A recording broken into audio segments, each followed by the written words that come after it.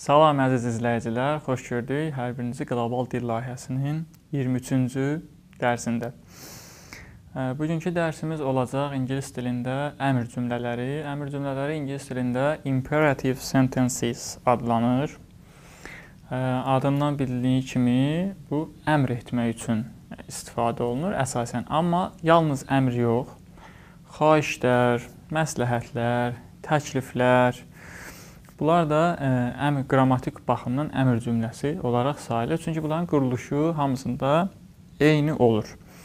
Elə bizim dildə də eynidir. Məsəl üçün ə, e, tondan asılı olaraq cümlənin əmr və yaxud da xahiş olması dəyişə bilər. Ə, e, məsəl üçün mən dostumdan ə, bura gəlməsini xahiş eləyəndə də deyirəm ki, bura gəl və yaxud da məsəl üçün ə, bir əmr yana və yaxud da bir əsəbi şəkildə deyəndə də əsəbi şəkildə deyir ki, bura gəl.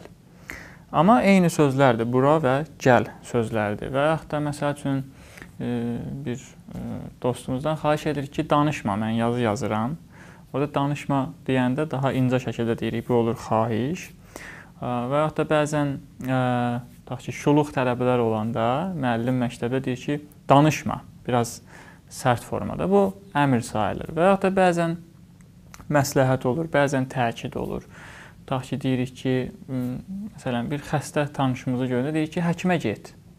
Yəni bu məsləhət formasında olur. Amma cümlələr quruluş baxımından eyni olur. Əmr cümləsini düzəldəndə bizə mübtəda lazım olmur. Biz e, lap hələ əvvəlki dərslərimizdə demişdik ki, ingilis dilində mübtədasız cümlələr demək olar ki, olmur. Mübtəda mütləq şəkildə lazımdır, amma istisnalarımız vardır. Bax, istisnalar elə bu əmr cümlələri istisnanın biridir. Mübtəda da niyə olmur? Çünki biz əmr eləyəndə, xahiş eləyəndə, məsləhət eləyəndə bizim e, ünvanladığımız, həmin o əmri, xahişi ünvanladığımız tərəf yalnız ikinci şəxs olur. Yəni sən və yaxud da siz. Məsəl üçün deyirəm ki, gəl, yəni sən gəl. Tutaq ki, qulaq as. Dinləyin tərcümə edin, yazın, oxuyun. Burada hamısı ikinci şəxsə ünvanlanır və ona görə orada you əvəzinə istifadə eləmək artıq olur. Əmr cümlələri adətən qısa olmağı ilə seçilir. Bəzən bir sözlə, bəzən iki sözlə olur, amma uzun cümlələr də olur. İndi siz lövhədə də görəcəksiniz. Deməli, yenə dərsin adı yazılır. Imperative sentences. Ən kiçik əmr cümlələri. Məsəl üçün deyirik ki, go, get. Və ya da deyirəm ki, go out of the room. Yəni otaqdan çıxın zəhmət olmasa. İndi cümləni uzada bilərik. Və yaxud da deyirik ki, speak, danış. Cümləni bir balaca uzatmaq istəsək, deyəcəyik ki, speak about yourself.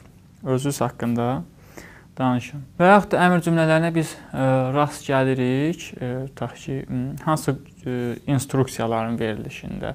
Məsəl üçün tapşırıqlar verilir filan, onların göstərişləri əmr cümləsi formasında olur. Məsələn, testlərdə daha çox rast gəlirik. Tutaq ki, düzgün cavabı seç. Olur choose the correct answer, choose the right answer. Ekranda görürsüz cümləni və yaxud da çalışmalarda yazılır tutaq ki, tərcümə edin ingilis dilinə. Onda olacaq translate into English. Əmr cümlələrinin eyni zamanda inkar formasında olur. Məsəl üçün biz deyə bilərik ki, danış Və ya indi bir də deyirik danışma. Deyir ki, gəl. Və ya da deyir ki, yox, bu gün gəlmə. Onda e, do not Hı -hı. yəni köməkçi feili ilə do köməkçi feili və not inkar ədatı ilə ə, e, əmr cümləsi düzəlir. Olacaq, məsələn, speak idisə bayaq danış, indi olacaq don't speak. Danışma. Və yaxud da deyir ki, don't open the window. Pəncərəni açma. Bu əmr cümlələri Bu qədər. Bir də eyni zamanda əmr cümlələrində let's-lə olan cümlələr də işlənir. Bunu da əmr cümlələrinə e, daxil eləyə bilirik. Let's yəni e, bizim dildə gəlin. Məsələn deyirik ki, gəlin parka gedək.